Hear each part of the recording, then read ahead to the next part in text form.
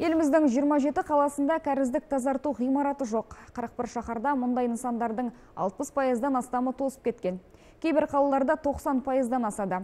Олардың қатарында Көкшетау, Семей, Қонаев, Арқалық бар.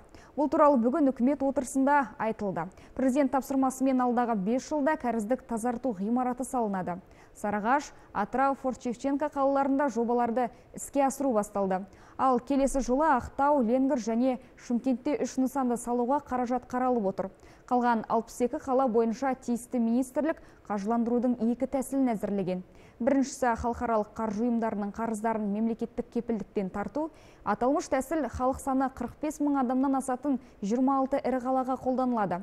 Екіншісі республикалық бюджеттен трансферттер бөлу.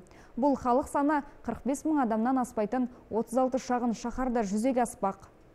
Индустрия министрлігі өңір әкімдерімен бірлесіп бір ай мерзімде әрбір жобаны іске асыру кестесін бекітсін және олардың орындалу барысы туралы үкіметке 90 сайын хабарлап тұрсын жобаларды іске асыру мерзімдерін оңтайландыру жағын тағы да қарап шығу керек. Өңір әкімдері кәріздік тазарту құрылыстарының жобаларын уақытылы іске асыру үшін қажетті техникалық құжаттамаларды жедел әзірлеуді және бекітуді қамтамасыз етсін.